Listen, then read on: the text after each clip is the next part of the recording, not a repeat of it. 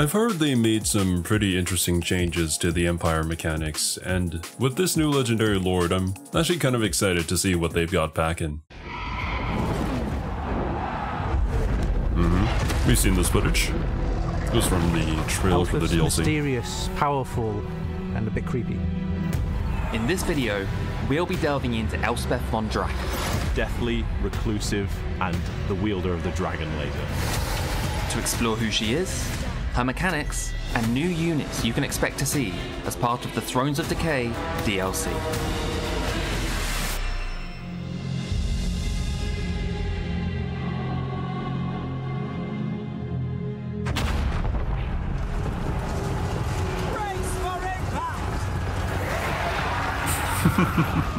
Her name echoes throughout the lands of the Empire. Oh, that's A epic. story shrouded in mystery. Elspeth von Draken is, of course, our seemingly ageless personal protector of the Empire. Not that anyone believes her, of course. Her starting location lies in the heart of Wissenland and Nuln. We're jumping into turn 5 of our Immortal Empires campaign, where the severed rags of our homelands have been delicately sewn back together to somewhat resemble their former glory. We've no immediate threats around okay. us, so we begin the delightful process of figuring out who to target next. I think I heard something about Gelt getting moved all the way over to Cathay, so it kind of opens up this part of the map a little bit more. I believe this is in the southern part of the Empire. I could be wrong, but I'm pretty sure that mountain range is, uh, uh well, we've crossed that before, Zicket Claw. The big patch of undead land in the east probably needs turfing over, so we'll begin an expedition over to Sylvania. It helps that Elspeth receives no attrition from vampiric corruption, of course. And they didn't see that coming. For Sigmar Nice. and Verena. Okay, so then I suppose it's gonna be just a face-off between her and obviously the von Karsteins. I wonder how this is gonna affect um the actual AI and how those battles kind of turn out. Because usually uh Vlad, he kind of just conquers pretty much everything in all the games that I played. Uh, it is a little bit RNG, so there might be some variation here and there, but usually he's doing pretty good for himself. Elspeth provides the fantasy of the kind of morally grey saviour of the Empire. Doesn't always do things the, the way that people might like, but she does get the job done. The way Elspeth fits into the Empire roster is that she is a spellcaster character in the same way that Gelt is, but just uh, has a different lore of magic. She also rides a Carmine dragon, Death, which is yeah. a monstrous mount, and not many spellcasters in the Empire roster actually field them. Imric would like to know your location. A quick look around our neighborhood and we can see a few changes. For example, Helmgart now starts under the control of Karl Franz, giving him a little Oh, more breathing room to try out his new Elector Count updates. Okay. I, I think that was kind of an issue with Karl Franz's campaign from what I heard, like talking to you guys in chat and stuff. I think before the Secessionist or whatever they were called, they were um kind of holed up there.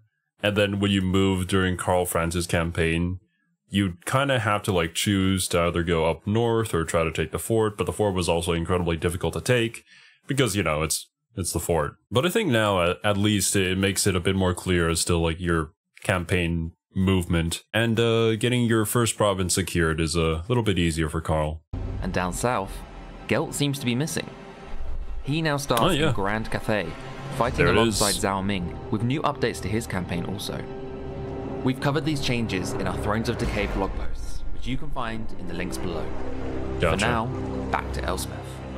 Wait, if he starts all the way over there with Zhao Ming, um, where would he start? I think maybe that's near where like the Burning Wind faction starts. Uh, kind of near Nakai the Wanderer, right? We've been utilizing the Imperial Gunnery in the Imperial Gunnery School Ooh. window, and by applying our schematics, Wait, okay. Give me a second. I kind of want to go back and look at that. Hmm, okay, interesting. So basically, we use this currency, uh, which is schematics that they just mentioned there. And uh, you can max out a particular unit to make them super powerful. Uh, I suppose this kind of goes with like what you want to build in your armies. And you would probably want to optimize this uh, depending on your play style. I guess we'll also have to see like how abundant these schematics are. Is it possible to like max out basically everything at some point, or is it the limited number of upgrades. We also have this Amethyst Armory over in the top right here. Uh, don't know what that's about. gunnery in the Imperial Gunnery School window, and by applying our schematics we've collected after battles, we've been able to upgrade our units. There is a nice selection of upgrades across the munition units. I mean, if you get them after battle, then yeah, I feel like it's basically just an infinite amount. But we're currently focusing on our artillery, because who doesn't love explosions? Yeah. So far in Tier 1, we've added in additional projectiles That was a cool to our transition. Hellstorm rocket battery, and, my personal favourite, improve the reaction time for the Hellblaster volley guns by removing the cannot run attribute, increasing their speed, and improving acceleration and deceleration through the Wayfarer ability. Not bad for a single upgrade. These are just our early upgrades as well, and as we utilise the gunnery school, we increase our tier, unlock Oh, okay. So while it looks kind of different, this is basically the same thing as Ikit Claw's laboratory, right? Works the same way with the level ups, and you probably have to get to certain conditions in order for your your thing to level up, and then you can unlock the better upgrades for particular units. Not gonna lie, just with this, uh, I feel like the Empire is uh, looking pretty good. Looking further, more powerful upgrades and access to new units. With Elspeth being in charge of Wissenland and Nuln, we knew that we had to have the Imperial Gunnery School in there. The mechanic kind of writes itself an experimental weapons school and core to the Empire. It adds to the player experience by allowing you to push the limits of what your gun units could normally do. And it gets spicy at the end. For Sigmar and Verena. At this stage, our army is primarily made up of foot soldiers. Our Nuln Ironsides are the front line of our force, and with more advanced armor Oh, a tier 4 missile infantry. Thing with the Empire, from my understanding, is that it's kind of advertised as being an all rounder faction, but it's really not. It's all in the missile infantry, because uh, your melee infantry doesn't really beat out anybody else's. Armor, melee capabilities, and missile strength than our standard Empire gunners, we'll bring them right in to weaken the enemy's front line, before bringing back in our swordsmen to take on the bulk of the melee. We're in the midst of taking the walls. We'll position our ranged units on top of them to take advantage of the height. And I think we'll target hmm. our artillery on this section to make things a little less bottlenecky. All those units are dead. okay, well, that's an interesting tactic. I didn't know that you could use your artillery to destroy walls. I, I always thought that it was just a unique thing for the Skaven with their, um, I forget the exact name of the unit. You guys know what I'm talking about. The guys who run over and destroy the wall with their little chisels or whatever. Warp stone grinders.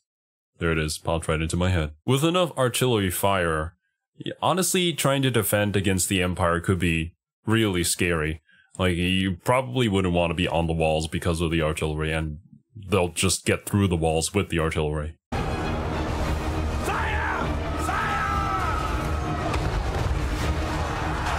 Vlad has joined the fray. And call me over the top, but while he's caught up, I'm just going to target all my artillery on him.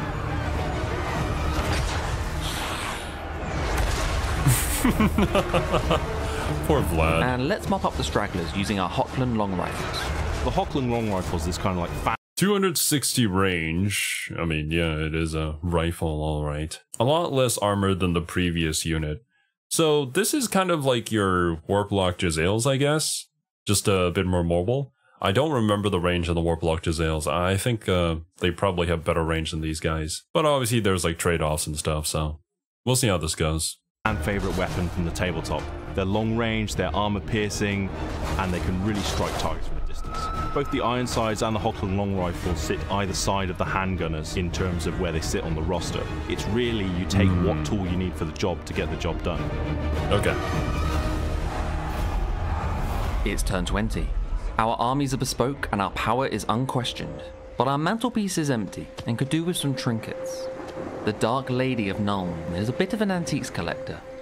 Magical arcane artifacts entrance her as she yearns to understand the lore of death in its entirety. In her quest to complete her collection of artifacts, though, she needs a quick way to travel. Gardens of Morr can be built in any friendly or neutral Empire owned settlement, allowing us to create a network of pathways for Elspeth to transverse. We've set up a black tower near our capital of Nuln, so within a couple of turns, we can return to and assist our most important settlements without fear of travelling too far. Gardens can be used to construct unique buildings to provide extra settlement garrisons, unlock units, and boost your abilities in campaign and battle. Okay, uh, that's pretty cool. Just the ability to teleport back, like even if it's not immediate, uh, that's still very useful, especially if you need to, to teleport back to defend your territory. Be sure to keep in mind the cooldown after constructing each garden. It's important to plan your pathways carefully. We introduced the Gardens of Morr mechanic to really tap into the lore of Elspeth, of this uh, mysterious woman that goes between Black Towers and her relationship with the Cult of Morr. From a gameplay side, it really helped her to zip around the Empire and protect them in dire straits. Bring.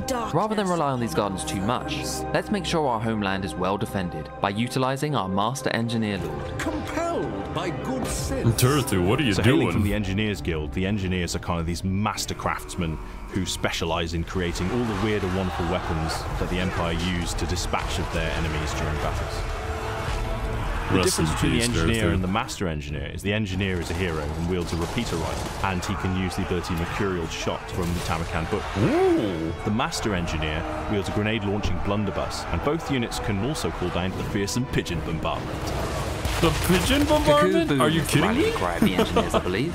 Alongside them, we have a new What is legendary that? hero. Theodore Bruckner Was that like a makeshift unicorn with electricity coming out of its horn? known as the Titan Headsman, is this kind of champion of Nuln, the Justicar who kind of fights enemy characters. He is also the only character that is mounted on a demigryph. Hmm. Yeah, we saw this guy in the cinematic trailer too. It's turn 40. Elspeth has vanquished Festus and his Fecundite faction. But our neighbours of Nuln grow irritable of our conquests. Drycha. The Wargroves of Woe have turned our forests against us. It may be because we discovered the Nemesis crown. Okay, what is this? Nemesis crown. Uh, wait a minute. I've never gotten it before in one of my campaigns. I've only seen like Kleeper or Reggie do it. And it's basically a different Sword of Khaine. I wonder where this would be located. I mean, it, it's nice that, you know, there's not just only the Sword of Khaine. Now we got a something new on the table. And we also have the ability to just seal it away for a few turns. Uh, which gives us uh, some money. But I mean, if you're going for total war, then why not just take it? Crown, and after taking it for ourselves, gain diplomatic penalties for all factions nationwide. Whoops. Elspeth can't help herself. Much to Elspeth's joy, the Nemesis Crown is a free update Corrupting in patch Crown. 5.0. Within our Imperial Gunnery School, though, we've reached Tier 3, Nice. unlocking the Amethyst panel. We can now purchase, three, okay. Recruit, and upgrade Amethyst units, taking advantage of their magically augmented munitions. Amethyst artillery is also available to us now, turning the tide on Drycha's invasion. Better get collecting those hmm. schematics. It will rain death. I see. The Amethyst Armory bring that combined focus of guns and magic, which you don't normally see within the Empire, and they are very Yeah, potent, that's pretty cool. especially with all the combined bonuses you can get for the Amethyst units and the regular counterparts.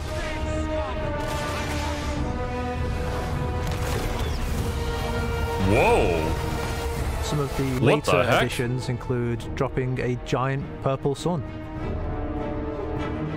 Dang! The Nemesis crown sits heavy upon That's pretty cool, yeah. As we dominate, we make more and more enemies with our neighbours, but the temptation for Elspeth is too much. So while we have the option to drop it off at the nearest thrift store, I think we'll keep it. I protect the Empire. We're winning the war. I mean, I think it would be pretty fun to just go all out with the Nemesis crown. The upkeep could be a problem, but as long as you're winning and getting enough territories and your economy is just balling, like, you should be fine. But Drycha has made a bold move for her swan song, stepping forth into our lands to attack our capital of Nuln.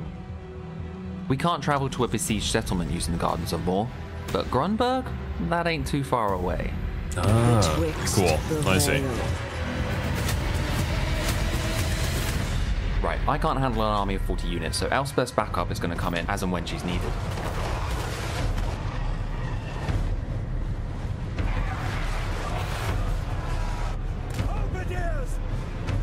Ready for war! Our garrison can hold off the first wave of Wood Elves, but looks like Drycha's on her way with her main army. Mm-hmm.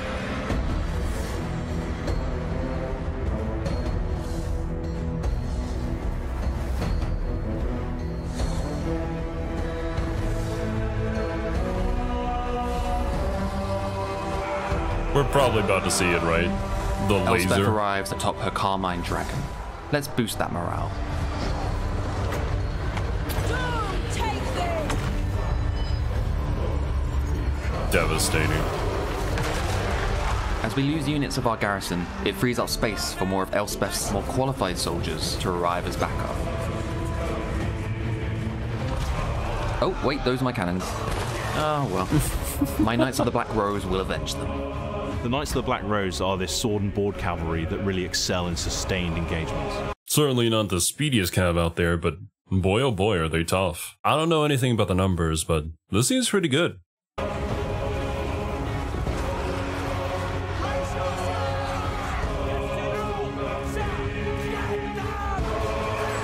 Oh dear, they're really making their way in.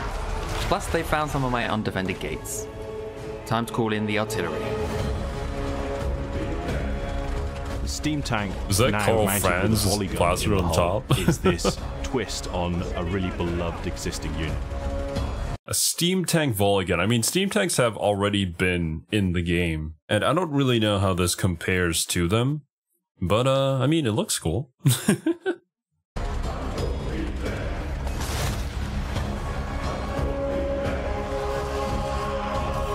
our hero. Ah, here comes our navy. Hang on, there's no sea here. And we don't have a navy. And finally, we have the But Marienburg we class do. landship, which is this ridiculous boat on wheels with an I think from what you guys said in the comments, it's basically Marienburg trying to create their own steam tank, but they couldn't really figure it out and like fit it in uh, as compact of a shape. So they were just like, screw it, we're just gonna put it in a ship, and that's how that came about, right?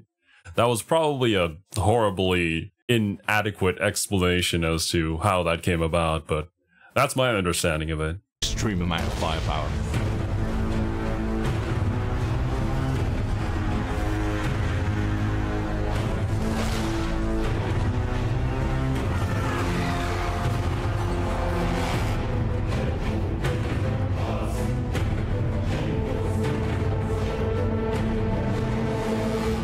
Theodore, mate, I know you're on your last legs, but I need you back in the fight. Okay, okay, he's going down. But his Veil Flame amulet has Wait a minute. Enabled if unit is dead. So it's like a last hurrah?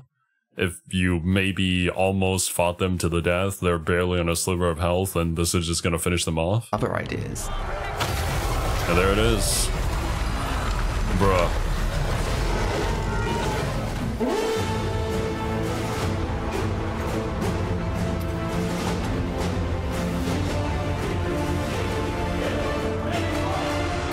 Final push. In we go. Nope. Oh, okay then. Elspeth, it's up to you.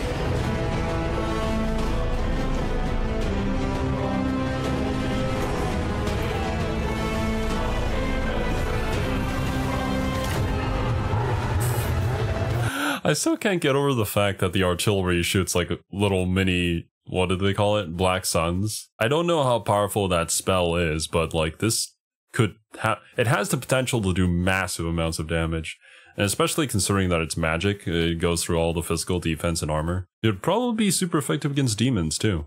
Because I, I think demons just have like a higher physical resistance usually.